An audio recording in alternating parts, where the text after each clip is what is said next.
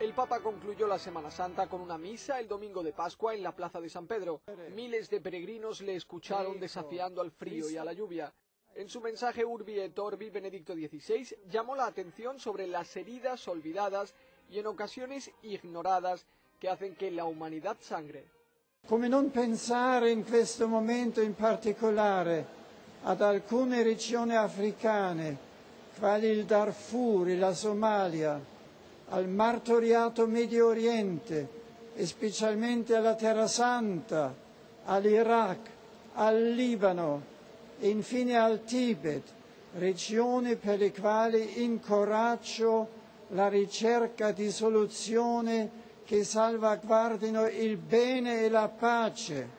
Además, el Papa felicitó la Pascua a todo el mundo en 63 idiomas, entre ellos el árabe, el vietnamita o el guaraní.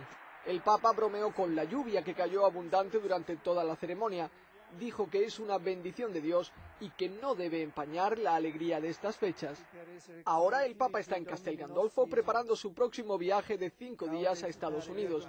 Está previsto que Benedicto XVI salga de Roma el 15 de abril y que regrese el 21. Durante esta visita cumplirá 82 años.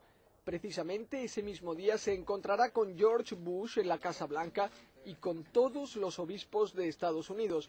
Además, presidirá una misa con representantes de las universidades católicas americanas. El viernes 18 de abril el Papa se desplazará a New York para pronunciar un discurso en las Naciones Unidas.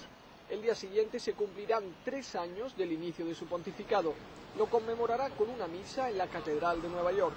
Además, Benedicto XVI visitará la zona cero y celebrará una misa multitudinaria en el Estadio de los Yankees.